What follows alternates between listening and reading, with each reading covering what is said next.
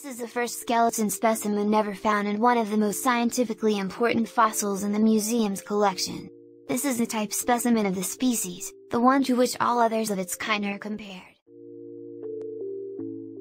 Interesting facts about Archaeopteryx.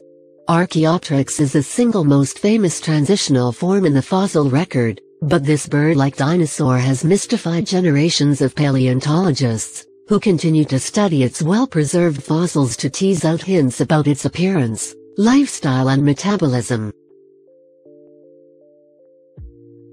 Archaeopteryx was about the size of a pigeon. So outsized has been the impact of Archaeopteryx that many people mistakenly believe this dino bird was much bigger than it actually was. In fact, Archaeopteryx measured only about 20 inches from head to tail, and the largest individuals didn't weigh much more than 2 pounds. As such, it was much smaller than the winged reptiles of the Mesozoic era.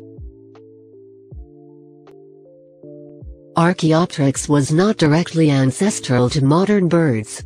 As far as paleontologists can tell, birds evolved from feathered dinosaurs multiple times during the later Mesozoic era. In fact, Modern birds are probably more closely related to the feathered theropods of the late Cretaceous period than to the late Jurassic Archaeopteryx.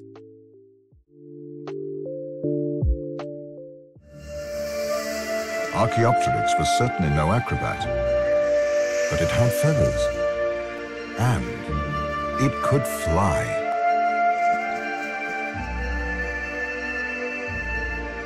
Its collarbones had already fused together a vital step enabling the wings to flap efficiently and gain altitude, allowing it to hunt and nest in trees.